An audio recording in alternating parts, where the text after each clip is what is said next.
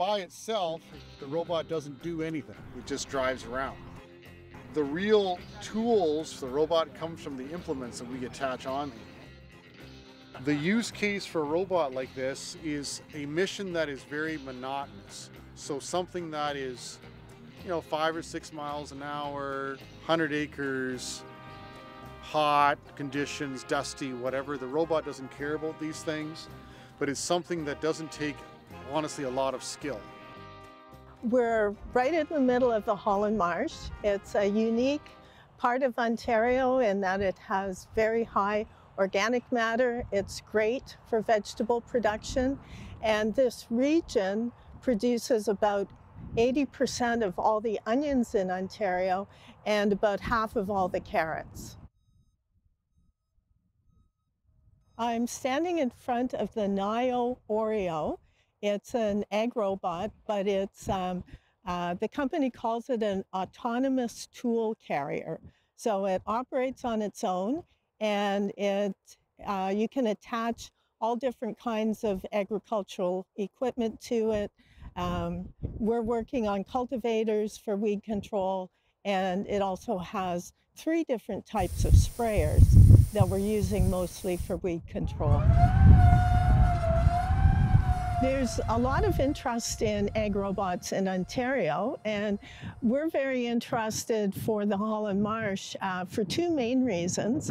Uh, a lot, there's a lot of hand weeding that goes into the production of these crops. Uh, there aren't a lot of herbicides and they don't work 100%, so there are crews of weeders that walk through. But it's getting harder and harder to find the agricultural labor that you need. Um, and the other problem is that even when we do have herbicides to control the weeds, now we have a lot of weeds that are resistant to herbicides. The challenges have just been figuring out ways to modify the robot and especially the equipment just to make it better, uh, more useful for the farmer.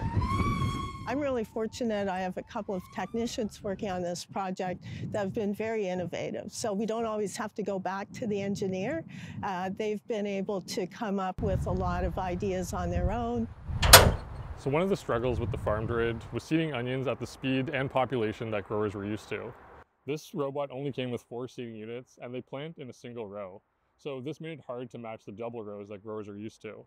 To get around this, we 3D printed some prototype discs. These ones will actually drop three seeds in every single hole to help increase the population.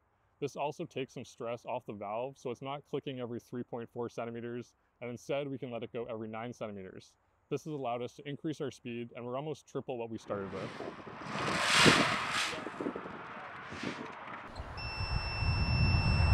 There's a stereotype that farmers are stuck in their ways and that you can't teach an old dog new tricks. And while there might be some truth to this, especially with the average farmer getting older, farmers are also incredibly innovative. Uh, we see that here in the marsh, the tools they come up with um, are incredible and we've adapted a lot of what we've learned from them into our own robots. When we're trying to pitch these robots to them and see if we can make it valuable to their operations, the hard part is seeing the return on investment for them. And that's really where the focus is right now people are looking at how much the robot costs and what benefit they're getting from it. Is it labor? Is it saving on pesticides? Is it a sustainability aspect? I think all this goes into this calculation, and right now it's a lot to figure out, but hopefully we're going to get to the point where it's an obvious decision for growers. My project all started when Kristen Obeid introduced me to Chuck Baresich uh, in the fall of, I think it was 2021. He wanted to demonstrate the little Romeo robot and brought it up here to the research station. I met Chuck and we had done some work on drones in the past, but I wasn't thinking too much about agrobotics, but that connection with Kristen and Chuck uh, developed into our agrobotics project. And my group was one of the early ones participating in the agrobot working group, but that has grown and through the co-chair of both Chuck and Kristen. But as the business person who actually has all the robots and has been instrumental in organizing a lot of the trials in Ontario, um, Chuck's a kingpin for sure. Pay attention, and every now and again, you'll see this robot is doing its thing, and we're not doing anything with it.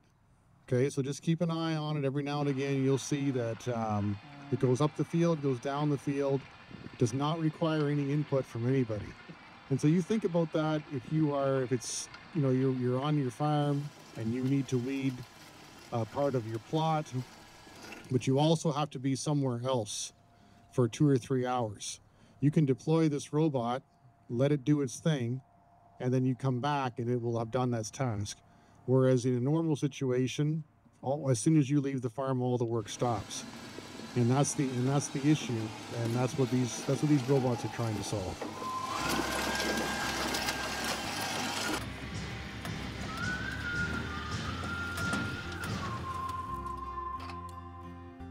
Here at Haggerty Creek, we are a crop input and we are a, a, a, supplier for farmers. So we sell fertilizer, we sell chemicals.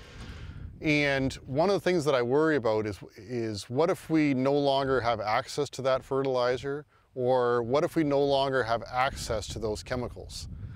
And I don't want to wake up 10 years from now saying, hey, we no longer have Roundup that we can use or, or some other product and we need to work on these solutions. So that's what has driven me to getting into this space. We're trying to get robots that actually solve a problem. You know, it's quite simple for someone to build a platform that can drive, you know, to one end of the field and back again. That, that's not that hard to do. It's table stakes anymore. The challenge we've got is to have that robot do something useful for the farmer. These robots, for example, can be trained to follow a person around the property. And so when you are hauling, you know, harvest goods or, or products or whatever, they can follow the workers and it's super quick on how that works. And then to stop it, you just hit the red button. Chuck Baresich from Haggerty Ag Robotics contacted me uh, because he was interested in testing out some of these small Naïo Oz robots and to see if they actually did what the company from France said they would do. And me, I am the weed management specialist for all of horticulture crops, so I made the connections with the uh, annual vegetable growers to take these out to the field to see if they actually cultivated, they actually ran six to eight hours a day, that they could do everything autonomously in the field. Well, Chuck's work's really important because he's sort of been the key in terms of making the connections with the robotics companies and actually utilizing the agrobotics working group to build those cross-functional teams to actually make projects happen. And so we have on this group, it's really quite fantastic that we have the whole innovation continuum in agriculture. The researchers, academia, agribusiness, innovative growers, government, funding organizations, the technology companies. And just from word of mouth, people from all over the world have heard about the Ag Robotics Working Group. They've heard about, about Chuck Baresich, and now, you know, we're kind of known as a leading expert in the field. So just from a few short years, there's a lot of momentum and a lot of energy in this space. So one of the things that we do at Haggerty is we take these robots out of their comfort zone. Typically when a robot is being built, the engineer and the manufacturer that has built it, they have an inherent bias in that when they built the machine and they go and they test it, they will generally design tests that they know the robot can build or, or can complete. And that's okay, like that's, that's human nature.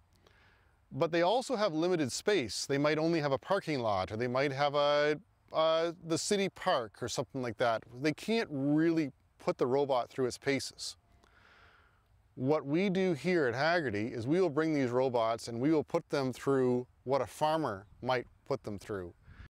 The most common questions I get from farmers is, will this work on my farm? That's probably the most common one. As similar when you're driving down the countryside to what farmland looks like, it's actually surprising the variation between you know, farmer to farmer, crop to crop, how things are done. And a lot of farmers have their own unique you know, attributes and ways that they want to grow crops. So a lot of this is like, you know, will it fit down my rows? Will it handle my soil type? Can I even learn how to use it? That's probably the most common one. The second most common one is going to be, is this going to be an improvement over what I'm doing now? And when I tell people, I say, you need to change your thinking about how you're farming because it's not as simple as just equipment and machinery and basically doing the same thing that we've always been doing, just bigger and better and faster. That's, that's really not what robotics is about. Robotics is about thinking about how do we use this technology and how do we use our agronomy and can we take two plus two equals five? Is there a way we can end up with a better outcome because of this technology? So a common misperception of farmers is that they are resistant to change. The reality is that farmers have a high risk when something goes wrong. So if they experience a crop failure or some kind of issue with that change, it's their livelihood that's on the line because they have to wait until next year to try again. I'm Matt Roberts. We're here at Adelaide Farms. Uh, we're a vegetable and fruit farm here just north of London, Ontario. Our goals with purchasing the robot were to mainly help with our weed control and cultivating between plants. Uh, eventually we figured that we could try it with planting, so we started marking rows with it with a modified potato plow. And it seems to be working a little bit better than expected, and I think we're actually going to be using it more for our planting stages than our cultivating stages just for the next, you know, first couple of years, and we'll try and figure things out in the next couple of years for the, for the weed control aspect. When it comes to the, the farm labor, we're, we're hoping to help with a little bit. It, it gets a little bit of long hours, so we're hoping, you know, the robot would kind of ease up a bit of that uh, timeline, timeline there. Uh, we found that it helped. We, we had some onions planted this spring. It seemed to work really well when it came time to pull the onions. They just grew out really well and uh, saved a lot of time there. Farming's always a risk. Every year you go out and you go and plant a little tiny seed that somehow grows into this great big plant and any bit of machinery is a risk and that's one of the, you know, a robot is a piece of machinery to use. As far as buying another robot, I think like, currently we're like, okay, we gotta try and figure things out. Like it's, it's working, but we gotta find ways to use it more and find ways to use it more, uh, more efficiently. If the business called for another robot, sure, yeah, we would buy, you know, go and buy one. But you have to make sure that it, you know, priced right. Is it going to fit right? Something like this fits good for our farm. You know, it's not our farm's not crazy huge when it comes to vegetable farms, but maybe there's bigger farms, maybe there's smaller farms. But different robots will fit different applications. And right now, I think this robot is pretty well the right fit for us here. The involvement of agricultural robotics, you know, should be important to Ontario and to Canada as a whole you know, we want to be in this space because we want robots and machines to work in our conditions, to work in our, our fields and our farms. And a, a, a reality is, is that everyone has to eat and we're no exception. And so why not use our talented acad academic skill set? Why not use our manufacturing sector? Why not use our farmers and have an ecosystem right here in the province?